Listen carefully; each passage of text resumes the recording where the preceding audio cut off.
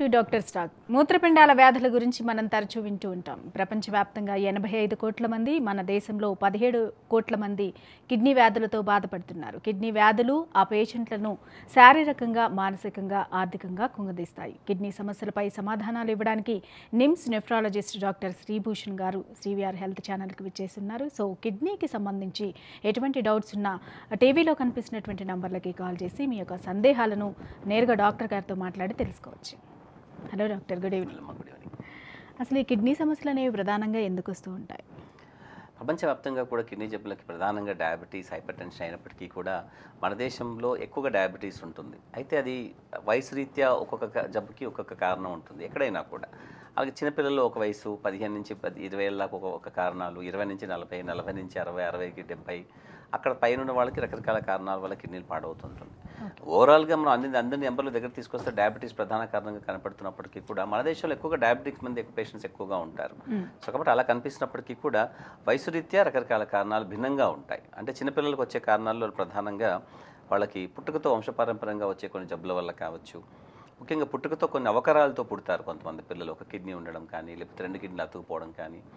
Kidney ఒకటే ఉండడము ఆ ఒక కిడ్నీ కూడా ఎక్కడో పొత్తి కడుపులో ఉండడము. లేదా కిడ్నీ యొక్క ఆకారంలో వచ్చిన మార్పుల వల్ల మూత్రనాళాలు సరిగా ఉండకపోతే ఆ మూత్రనాళాల యొక్క మూత్ర మూత్రం యొక్క ఫ్లో ఎలా ఉంటుంది ఎలా జారుతోంది దాన్ని బట్టి అది మూత్రనాళ యొక్క చివరి భాగం లూజ్గా ఉండి మూత్రాశయంలోకి ఏదైతే ఫిక్స్ అవుతుందో ఆ భాగం లూజ్గా ఉంటే మూత్రం పోసినప్పుడల్లా ప్రెషర్తో మీ కిందికి ఎంత వస్తుందో మూత్రము అంతే కొంచెం వెనక్కి తిరిగి పై కొడుతూ ఉంటుంది కిడ్నీ దాన్ని రిఫ్లెక్స్ అంటూ ఉంటాం.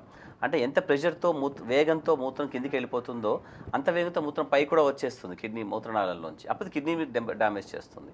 రిఫ్లెక్స్ డిసీజ్ అంటూ ఉంటారు. దీనివల్ల మళ్ళీ మళ్ళీ చాలా చాలా ఇన్ఫెక్షన్స్ రావడం వల్ల కిడ్నీ ఈ యొక్క పనితనం బాగా తగ్గిపోవడము అలాగే కొన్ని ప్రత్యేకంగా ఉన్న గ్లోమరుల డిజీజెస్ పిల్లల్లో ఉండడము కిడ్నీ లోపల వాళ్ళ వాళ్ళ పెద్దవాళ్ళకి వచ్చినట్టుగానే వాళ్ళకు కూడా autosomal recessive kidney polycystic kidneys లాంటి కొన్ని జబ్బులు రావడము ఇటువంటి చిన్న చిన్న కారణాల చేత చిన్నపిల్లల్లో కిడ్నీలు పాడవుతూ ఉంటాయి. అలాగే పదిహేను నుంచి ఇరవై ఐదు ముప్పై సంవత్సరాల లోపల ఉన్న వాళ్ళకి ఎక్కువగా గ్లోమరులా డిసీజ్ అలాగే క్రానిక్ ట్యూబులర్ ఇంటర్స్టిషియల్ డిసీజ్ అలాగే వాటిలో కూడా కొంతమంది వంశపారంపర్యంగా జన్యుపరమైన కారణాల చేత వచ్చే కిడ్నీ జబ్బుల వల్ల పాడైపోతుంది. నలభై నుంచి అంతకంటే ఎక్కువగా నలభై నుంచి సుమారు అరవై దాకా పాడే వాళ్ళలో ఎక్కువగా డయాబెటీస్ ప్రధానంగా కనిపిస్తూ ఉంటుంది. ఆ తర్వాత బీపీ ఎక్కువగా కనపడుతూ ఉంటుంది. సో ఇలా రకరకాల భిన్నంగా ఉన్నటువంటి వాళ్ళ వయసు రీత్యా వాళ్ళ జబ్బులకి ప్రధాన కారణాలు కనపడుతూ ఉంటాయి. గమ్మత్ ఏమిటంటే పుట్టుకతో వచ్చే జబ్బుల్ని మనం ఏ వయసులోనైనా కూడా ఒక కిడ్నీ పాడైపోవడం మనం చూస్తూ ఉంటాం. అయితే పుట్టుకతో వచ్చే జబ్బులు కేవలం చిన్న వయసులో మాత్రమే కిడ్నీలు పాడు చేయాల్సిన అవసరం ఏమీ లేదు. ఉదాహరణకి autosomal dominant polycystic kidney disease అని ఎక్కడైతే కిడ్నీ చేత తన మృదుత్వాన్ని కోల్పోయి మెత్తగా మెత్తగా మృదువుగా కాకుండా బుడగలు బుడగలుగా బుడగలు బుడగలుగా ఏదో ద్రాక్ష పళ్ళ గుత్తిలా కనపడుతూ ఉంటుంది. అటువంటి జబ్బు నిజానికి వాళ్ళకి వంశపారంపర్యంగా ఉంటుంది వాళ్ళ కుటుంబాల రక్త సంబంధికులు అందరికీ ఉంటుంది. వాళ్ళు కూడా పుట్టినప్పటి నుంచి ఉన్నా కూడా కిడ్నీ పాడవడం మాత్రం నలభైలు యాభైలో అవుతూ ఉంటుంది. అంటే చిన్నపిల్లలకి పాడేవాల్సిన అవసరం లేదు. చిన్నప్పుడు కూడా వాళ్ళ కిడ్నీలు అలాగే ఉంటాయి. అయితే రకరకాల కారణాల చేత జబ్బులు ఆలస్యంగా ఉంటాయి. డయాబెటీస్ ఉదాహరణగా చూస్తే మనకి డయాబెటీస్ వచ్చిన వాళ్ళలో కేవలం ముప్పై నలభై శాతం మందికి కిడ్నీ ప్రాబ్లమ్స్ వస్తాయి. అంటే అరవై డెబ్బై శాతం మందికి రావు. పోతే అరవై డెబ్బై శాతం మంది ఎవరు అని తెలుసుకోవడం అనేది చాలా వరకు మనకి చాలా కష్టం. వాళ్ళలో కూడా కొంతమందికి కిడ్నీ ఫెయిల్ అవడంతో డయాబెటీస్ స్టార్ట్ అవుతుంది. లేదా డయాబెటీస్ స్టార్ట్ అవడంతో మొదలుగానే కిడ్నీ పాడేందుకు కనపడుతుంది. కొంతమందికి ఏమో కొంచెం ముందుకెళ్ళి కొంచెం ఆలస్యంగా కనపడుతుండు కొంతమందికి ముప్పై ముప్పై ఐదు ఏళ్ళ తర్వాత కూడా కిడ్నీ పాడేయడం పాడవడం అది కూడా కేవలం డయాబెటీస్ వల్ల పాడైనట్టుగా మనకు తెలుస్తుంది. ఆశ్చర్యం అయితే ఉంటుంది ఒకరికి ఎందుకు ఇంత తొందరగా పాడవుతుంది? కొందరికి ఎందుకు అంత ఆలస్యంగా పాడవుతుంది? అంటే ఆలస్యంగా పడవడం మంచిదే. అది కష్టం మరీ అంత కష్టపెట్టుకోవాల్సిన అవసరం లేదు కాబట్టి. కానీ ఏ రకమైన ఏ రకమైన లక్షణాలు మనకి ఈ వీళ్ళకి తొందరగా రావడాన్ని వాళ్ళకి లేటుగా ఆలస్యంగా మరింత ఆలస్యంగా రావడానికి ప్రోద్బలం అవుతున్నాయి అని తెలుసుకోవడం అన్నప్పుడు మనం కొంచెం సైంటిఫిక్గా మనకు మంచి ఉదాహరణ మంచి మంచి ఒక ఒక ఒక సమాధానాలు మనకు దొరికినట్టుగా ఉండదు.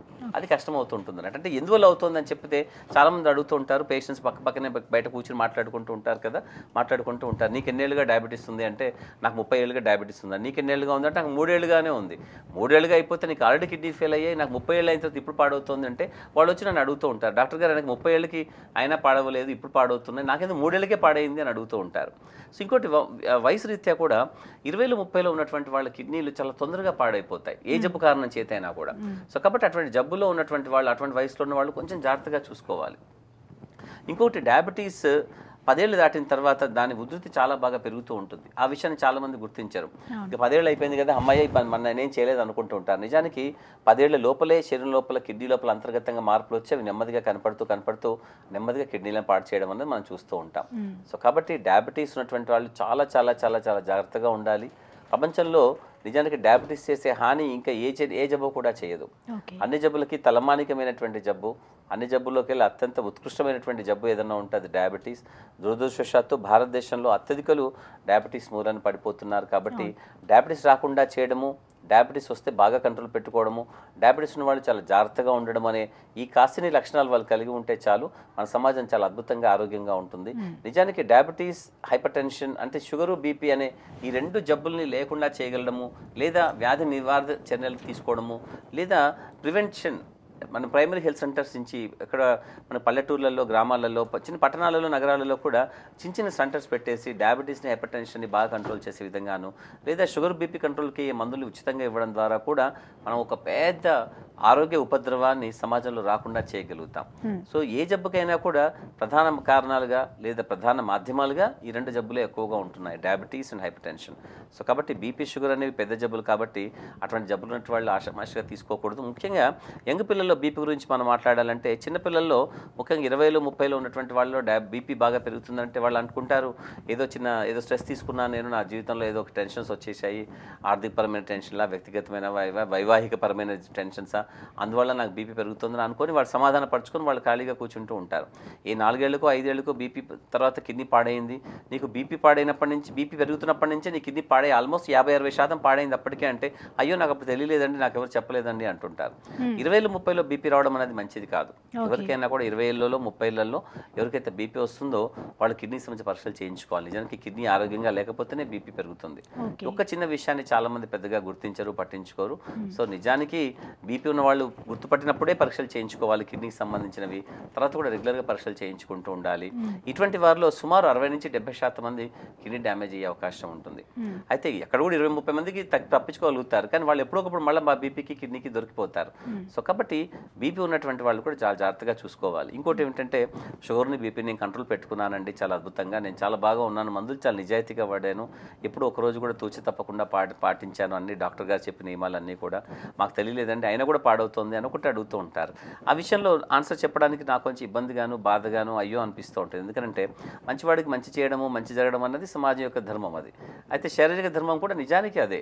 అయినప్పటికీ కూడా ఒకటి గుర్తించాల్సింది ఏంటంటే మన శరీరాన్ని మంచిగా చూసుకున్నామనో ఒక మంచి పద్ధతి పాటించామనో మనం హక్కులాగా బాగుండాలని కోరుకోవడం అనేది సాధ్యం కాదు.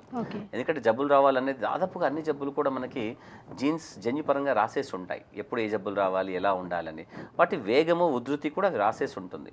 అందుకే ఇంతకుముందు చెప్పాను షుగర్ ఉన్న వాడికి ఒకరికి మూడేళ్ళకే పాడవుతుంది. ఒకరికి మాత్రం ముప్పై ఏళ్ళైనా పాడవదు ఎందువల్ల వాళ్ళకి ఎందుకు అలా జరుగుతోంది అని. ఒకరికి షుగర్ వచ్చిన తర్వాత కిడ్నీ పాడడం మొదలుపెట్టిన తర్వాత రెండు మూడేళ్ళకే పాడవుతుంది. అటువంటిది అటువంటి ప్రాణమ ప్రమాణంతో ఉన్నటువంటి ఇంకొక జబ్బు ఇరవై ఏళ్ళ తర్వాత నెమ్మదిగా పాడవుతుంది. అటువంటి జబ్బే. ఎందుకు ఇలా జరుగుతోంది అంటే కొందరికి ఎందుకు అలా వేగంగా పరిగెత్తుతోంది కొందరికి ఎందుకు అలా నిశ్శబ్దంగా నెమ్మదిగా పోతుంది అంటే అది కూడా జన్యుపరమైన కారణాల చేత వాళ్ళకి రాసి ఉంటుంది. సో ఇదంతా అంటే మరి రాసి ఉంటుంది అని అనుకోవడం అన్నది కాదు అక్కడ. కానీ ఇవన్నీ జీన్స్ నిర్ణయించగలుగుతాయి. వాళ్ళ శరీర యొక్క ధర్మాలు నిర్వహించ నిర్వ నిర్వర్తించగలుగుతాయి. ఇవన్నీ కూడా ఎలా జరగాలి అని రాసి ఉంటుంది కాబట్టి వాళ్ళు మనము మన పని చేతిలో ఏమిటి? మన షుగర్ కంట్రోల్ బీపీ కంట్రోల్ పెట్టుకోవడమే. కంట్రోల్ పెట్టుకున్నంత మాత్రం మనకు హక్కు అది నేను చాలా బాగా కంట్రోల్ పెట్టుకున్నానంటూ ఏమీ ఉండదు. జన్యుపరమైన కారణాలు మనల్ని చాలా వరకు ప్రభావితం చేయగలుగుతాయి. జబ్బుని వాటి ఉధృతిని వాటి వేగాన్ని వాటి యొక్క అవుట్కమ్ని కూడా చేయగలుగుతుంటాయి. ఓకే. సో ఏదైనప్పటికీ కూడా శారీరకంగా మనం బాగా ఉండడం అనేది చాలా వరకు ముఖ్యం. ముఖ్యంగా డయాబెటీస్ ఉన్నటువంటి వాళ్ళు శారీరకంగా బాగా పాడైపోతూ ఉంటారు. వాళ్ళు షుగర్ కంట్రోల్ కోసమని వాళ్ళు రకరకాలుగా అనవసరమైనటువంటి ఆహారాన్ని తీసుకోవడము లేదా అవసరమైన ఆహారాన్ని తీసుకోకపోవడం చేస్తారు. ఇంకోటి డయాబెటీస్ ఉందంటే కాబట్టి నేను ఆహారం సరిగ్గా తీసుకోనండి నేను అది తినను ఇది తినను పండు తినను స్వీట్ తినను అలా చెప్తూ ఉంటారు. నిజానికి తినకపోవడం అంటూ ఉండదు అక్కడ. తినకపోవడం అనేది కాదు అక్కడ. పద్ధతిగా క్రమశిక్షణగా తినకపోవడం అన్నది దాని అక్కడ ముఖ్యం. చాలామంది డయాబెటీస్ ఎందుకు వచ్చిందండి? నేను అసలు పెద్దగా అట్టే తినను కదా నేను స్వీట్లు కూడా తినను అంటారు. అక్కడ స్వీట్లు తిన్నామా? నిజమా అన్నది కాదు అక్కడ సమస్య. అక్కడ ఒక పద్ధతిగా క్రమశిక్షణగా జాగ్రత్తగా ఆహారం తీసుకోకపోవడం వల్ల వచ్చే గొడవలు ఇవన్నీ కూడా. డయాబెటీస్ హైపర్ టెన్షన్ ప్రధానంగా ఈ విధంగానే వస్తూ ఉంటాయి.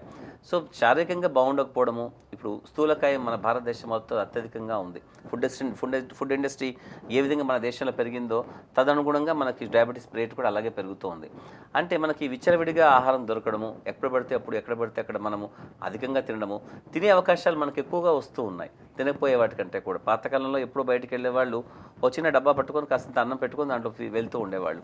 పొద్దునే చద్దనంతని బయలుదేరుతుండేవాళ్ళు మళ్ళీ ఇంటికి వెళ్ళి కాస్త తొందరగానే కాస్త మళ్ళీ కాస్త అన్నం తింటే మళ్ళీ వాళ్ళు పడుకోవడమే. ఇప్పుడు అలా కాదు. మనకి కావాలంటే ఇప్పుడు మనం తింటే తింటాము మళ్ళీ ఒక బాగుంటుంది తర్వాత మళ్ళీ ఫ్రెండ్ వస్తే వాడితో వెళ్ళి మళ్ళీ ఒక టీ తాగేస్తాము మళ్ళీ ఫ్రెండ్స్ వస్తే ఇంకో బిస్కెట్లు తింటాము మళ్ళీ సాయంత్రం స్నాక్స్లా తింటాము బయటికి వెళ్తే చాట్ కనపడితే చాట్ తింటాము ఇంటికి వెళ్తే డిన్నర్ చేస్తాము మళ్ళీ అప్పటికి మళ్ళీ ఫ్రెండ్ ఎవరైనా వచ్చి పదకొండు గంటలకు తీసుకెళ్తే అప్పటికి ఏదో మిడ్ నైట్ బిర్యానీ అంటూ తినేస్తున్నారు అంటే ఇక్కడ ఏమిటంటే ఆహారాన్ని ఎప్పుడు పడితే అక్కడ ఇవ్వడానికి నిజంగా శరీర ధర్మం వల్ల ఒప్పుకోదు నిజం. చెప్పాలంటే. నిద్ర ఆకలి ఇటువంటి దాహము ఇటువంటి రకరకాల భిన్న భిన్నత్వ భిన్నమైనటువంటి మన అవసరాలు శారీరక ధర్మానికి అవసరమైనటువంటి అవసరాలన్నీ కూడా మనం ఒక రకమైన పద్ధతి సర్కాడి రిధంతో నిర్ణయించబడి ఉంటాయి. సో కాబట్టి ఎప్పుడైతే మనం దాన్ని సహజంగా ఉన్నటువంటి దాన్ని మనం పాడు చేసుకుంటున్నామో అప్పటి నుంచి మన శరీరం పాడైపోయి ఊబకాయం స్థూలకాయం ఒబిసిటీ అనబడే ఇటువంటి రకరకాల జబ్బులు వస్తున్నాయి. ఒక్కసారి డయాబెటీస్ ఒకసారి ఊబకాయం లాంటిది ఏమన్నా వచ్చిందా? స్థూలకాయం? అక్కడి నుంచి మనకు అన్ని రకాల జబ్బులు వస్తాయి. డయాబెటీస్ హైపర్ టెన్షన్ కిడ్నీ జబ్బు గుండె జబ్బు క్యాన్సర్ లాంటి జబ్బులకి కూడా మనం స్థూలకాయం ఒకనొక ప్రధానమైనటువంటి కారణంగా మనం ఇప్పుడు కనిపెట్టగలిగాం కాబట్టి ఇవన్నీ కూడా బాగా దూరంగా ఉండాలనుకుంటే క్రమశిక్షణ అయినటువంటి శారీరక ధర్మాన్ని కలిగి ఉండడము క్రమశిక్షణ యుతమైనటువంటి ఆహార నియమావళి పాటించడం అనేది మనకి చాలా అత్యంత అవసరమైనటువంటి విధానం. దీన్ని పాటించకపోవడం వల్ల అన్ని జబ్బులు వస్తున్నాయి. నిజానికి జబ్బులకి ఇదా జబ్బు ఆ జబ్బు కాదు. ఏ జబ్బు అయినా చెడ్డదే. గుండె జబ్బా కిడ్నీ జబ్బా మెదడు జబ్బా క్యాన్సరా కాదు. అన్ని జబ్బులు చెడ్డగానే ఉంటాయి కానీ ఆ జబ్బు రాకుండా నివారించగలిగే మంచి మార్గాల్ని మనం సామాజికంగా ఆలోచించి మనము రాకుండా చేసే మంచి మార్గాలను అన్వేషించాల్సిన అవసరం ఉందని తెలుస్తోంది. రైట్ అదేవిధంగా అసలు first of all kidney damage అయినట్టు కానీ లేకపోతే కిడ్నీ సమస్యలు వచ్చినప్పుడు కానీ ఎలాంటి సిమ్టమ్స్ ఉంటాయి? అన్ అన్ఫార్చునేట్లీ చాలామంది పేషెంట్స్ మీరు హిస్టరీ వాళ్ళని తీసుకుంటున్నప్పుడు వాళ్ళు చాలా బాధాకరంగా అనిపించేది ఏమిటంటే వాళ్ళు ఎప్పుడు కూడా మాకు ఫలానా లక్షణాలు ఉన్నాయని చెప్పి వాళ్ళు ఎవరు చెప్పరు. వాళ్ళు ఏదో కాకతాళీయంగా ఏదో పరీక్షలు ఏదో సందర్భంలో చేసుకుంటే ఆ రిపోర్ట్ తీసుకొచ్చేసి మా చుట్టూ తిరుగుతూ ఉంటారు. డాక్టర్ గారు ఇలా ఉన్నాయండి అలా ఉన్నాయండి అంటూ. చాలా గమ్మత్తుగా అనిపిస్తూ ఉంటుంది. వాళ్ళకి సైతం వాళ్ళకి అర్థం కాని విషయం ఏంటంటే నేను చాలా మంచిగా ఉన్నాను చాలా ఆరోగ్యంగా ఉన్నాను నేను చాలా హ్యాండ్సమ్గా ఉన్నాను ముద్దుగా ఉన్నాను నాకు అన్ని చక్కగా ఉన్నాయి చక్కగా తింటున్నాను తిరుగుతున్నాను నాకు మూత్రం కూడా బాగానే వస్తోంది నేను శుభ్రంగా ఉంటాను అయినా కూడా నాకు ఎందుకు ఈ జబ్బు వచ్చిందని చెప్తున్నాడు? అది కూడా చాలా ఏళ్ళుగా ఉందని చెప్తున్నాడు ఏంటి? అదెలా సాధ్యం అంటూ ఉంటారు. అయితే అన్ఫార్చునేట్లీ కిడ్నీ జబ్బుకి మనకు మొదట్లో ఎటువంటి వ్యాధి లక్షణాలు కనిపించవు. ఓకే. ఫలానా కారణం చేత కిడ్నీ వచ్చిందని చెప్పడానికి ఉండదు. కేవలం మనం మాత్రమే అనుకొని కిడ్నీ జబ్బులు వస్తాయని అనుకొని రిస్క్ ఫ్యాక్టర్స్ ఉన్నటువంటి వాళ్ళు పరీక్షలు చేయించుకోవాలి తప్ప. మనకి అటువంటి వ్యాధి లక్షణాలు కనిపించకపోవడమే అత్యంత ప్రధానమైనటువంటి వ్యాధి లక్షణము కిడ్నీ జబ్బులు. సో కాబట్టి కొందరు రిస్క్ ఫ్యాక్టర్స్ ఉన్నటువంటి వాళ్ళు ఇటువంటి వ్యాధి లక్షణాలు లేకుండా కూడా వాళ్ళు పరీక్షలు చేయించుకోవాలి. ఇంతకుముందు చెప్పినట్టుగా షుగర్ ఉన్న వాళ్ళు బీపీ ఉన్న వాళ్ళు స్థూలకాయలు అలాగే స్మోకింగ్ చేసేవాళ్ళు. స్మోక్ చేసే వాళ్ళకి నిశ్శబ్దంగా కిడ్నీలు పాడవుతూ ఉంటాయి. సో కాబట్టి వాళ్ళందరూ తప్పనిసరిగా కిడ్నీకి సంబంధించిన పరీక్షలు చేయించుకోవాలి. అలాగే కొన్ని దీర్ఘకాలిక వ్యాధులు కొన్ని ఉంటాయి. అవి ముఖ్యంగా చర్మానికి సంబంధించినవి కీళ్ళకి సంబంధించినవి కొన్ని జబ్బులు. ముఖ్యంగా సోరియాసిస్ అలాంటి జబ్బులు కావచ్చు. ఏదో ఒక కారణం చేత మనకి చర్మానికి సంబంధించిన అనేక జబ్బులకి మందులు చాలా దీర్ఘకాలికంగా వాడాల్సిన అవసరం ఉంటుంది. అలాగే కీళ్ళ జబ్బుల వాళ్ళు కూడా చాలా దీర్ఘకాలికంగా వాడుతూ ఉంటారు. ఇటువంటి వారికి కిడ్నీకి కిడ్నీలు ఎక్కువగా పాడైపోయే అవకాశం ఉంటుంది. సో వాళ్ళు వెళ్ళి పరీక్షలు చేయించుకోవాలి. అలాగే కొన్ని గుండె జబ్బులు ఉన్న వాళ్ళు పక్షవాతం ఉన్నటువంటి వాళ్ళు ఆల్రెడీ రక్తనాళాలు బాగలేవని తెలుస్తూ ఉంటుంది కాబట్టి వాళ్ళు పరీక్షలు చేయించుకోవాలి. లేదా మన కుటుంబ సభ్యుల్లో మనకి దగ్గరగా ఉన్నటువంటి బంధువుల్లో మన రక్త సంబంధీకులు అనుకున్నటువంటి వాళ్ళ వ్యక్తుల్లో ఎవరికైనా కిడ్నీ జబ్బులు ఉంటే వాళ్ళు కూడా పరీక్షలు చేయించుకోవాలి. ఎందుకంటే దాదాపుగా అరవై డెబ్బై శాతం కిడ్నీ జబ్బులు రక్త సంబంధికులకు వచ్చేవి జన్యుపరమైన కారణాల చేత వచ్చేవి.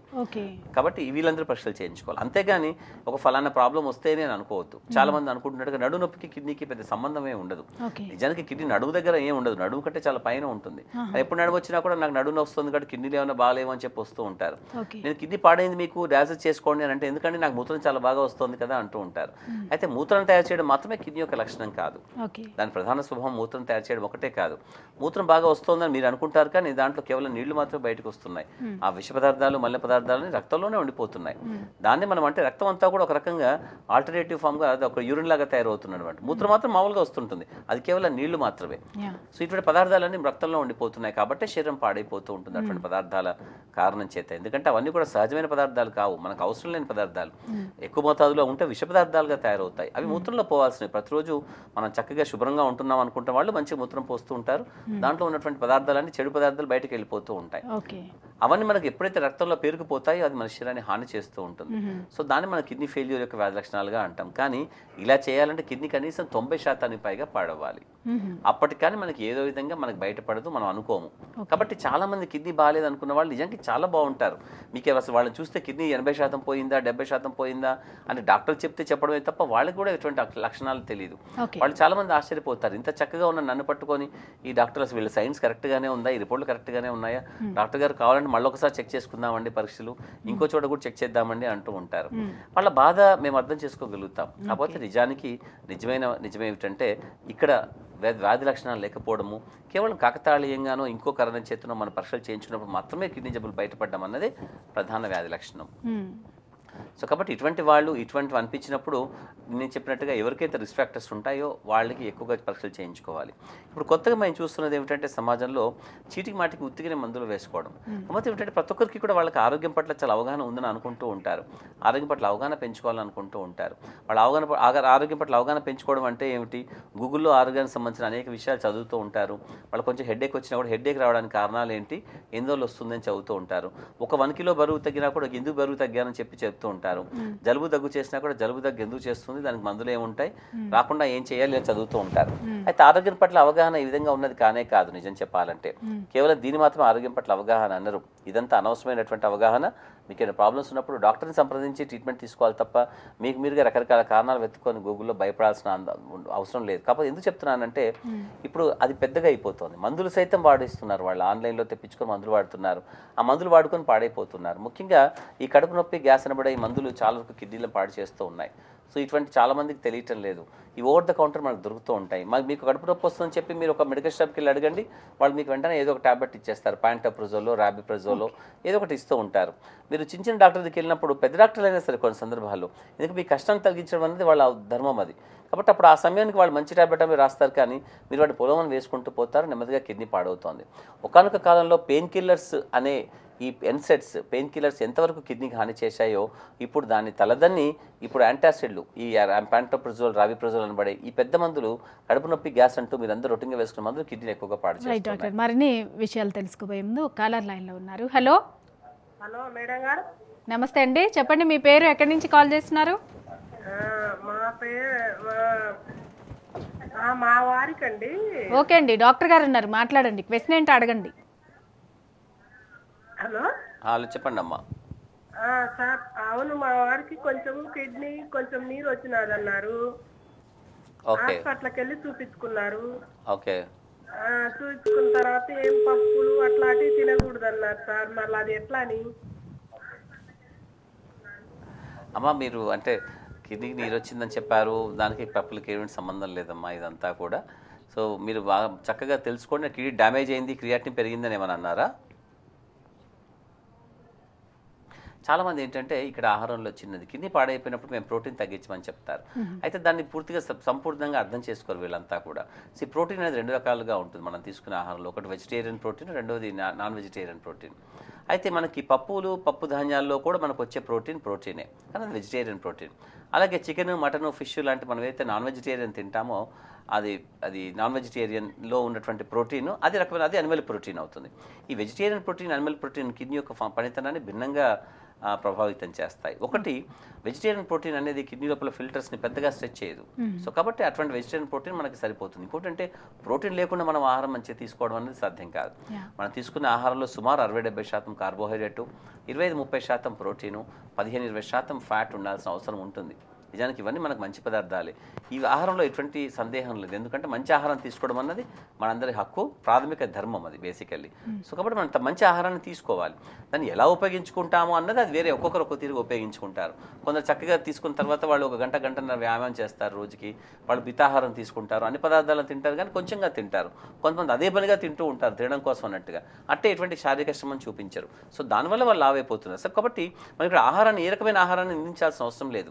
నిజానికి మనిషి బరువు తగ్గాలనుకుంటే ఆహారం తగ్గించుకుంటే సరిపోతుందని అనిపిస్తూ ఉంటుంది. ఎటువంటి ప్రత్యేక పదార్థాలు కానీ అవి తింటాను ఇవి తింటాను ఆ విధంగా తగ్గించుకుంటాను అనుకునే వాళ్ళు కూడా అనవసరమైనవి నిజం చెప్పాలంటే. ఏ విధంగా ఆహారాన్ని తగ్గించుకోకూడదు? ఎందుకంటే ఆహారం ఉన్నటువంటి మనం తీసుకున్న భిన్నమైనటువంటి పదార్థాల్లో ప్రతి దాంట్లో కూడా కేవలం దానికి మాత్రమే సంబంధించినటువంటి కేవలం దాంట్లో మాత్రమే ఉన్నటువంటి ఒక ప్రత్యేక పదార్థం ఉంటుంది. అది బహుశా వేరే పదార్థాల్లో దొరకదు. ఉదాహరణకు ఒక మామిడి పండులో ఉండే పదార్థం మీకు సపోటాలో దొరకదు. సపోటాలో ఉండేది ఆకుకూరలో దొరకదు. ఆకుకూరలో ఉండేది కూరగాయల్లో దొరకదు. ఇటువంటి పదార్థాలన్నీ కూడా మనకు అవసరం అవుతూ ఉంటాయి కాబట్టి అటువంటి చెప్పినటువంటి అన్ని పదార్థాలు మనం తినాలి. అంతేకాని వాటిని నిర్ణయం నిర్- నియంత్రించుకోవాల్సిన అవసరం లేదు. ఈవిడ చెప్తున్నట్టుగా. అది వెజిటేరియన్ ప్రోటీన్ తప్పు ఆవిడ పప్పు తీసుకోకూడదు అనుకుంటున్నారు అది చాలా తప్పు. మీరు అనిమల్ ప్రోటీన్ తీసుకోకండి కిడ్నీ బాగాలేకపోతే అంతేగాని పప్పు పప్పు ధాన్యాలు దినుసులు అవన్నీ కూడా జాగ్రత్తగా తీసుకోవచ్చు. రైట్ డాక్టర్ ఓకే అలాగే ఈరోజు కిడ్నీ సమస్యల గురించి మరింత అవగాహన కల్పించినందుకు మా ప్రేక్షకులకు ధన్యవాదాలు. సో ఇది వాళ్ళ డాక్టర్ టాక్. మరో కార్యక్రమంలో మళ్ళీ కలుసుకుందాం. చూస్తూనే ఉండండి. సివిఆర్ హెల్త్.